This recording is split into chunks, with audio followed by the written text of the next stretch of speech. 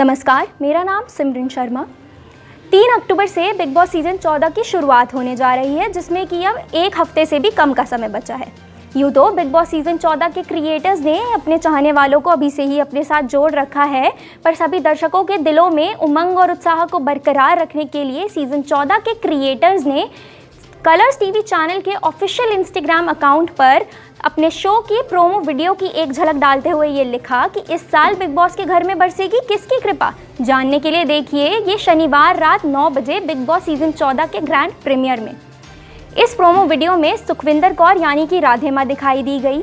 जी हाँ इस साल बिग बॉस सीज़न 14 में राधे माँ बिग बॉस के घर में एंटर होने जा रही हैं, पर अब तक ये खबर पक्की नहीं हुई है कि वो बतौर एक कंटेस्टेंट के रूप में दिखाई दी जाएँगी या केवल एक स्पेशल गेस्ट के रूप में।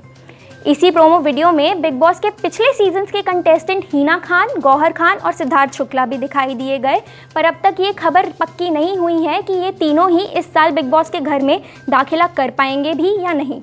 बिग बॉस से संबंधित सभी खबरों से जुड़े रहने के लिए इस वीडियो को लाइक और शेयर कीजिए। साथ ही हमारे चैनल को सब्सक्राइब कीजिए।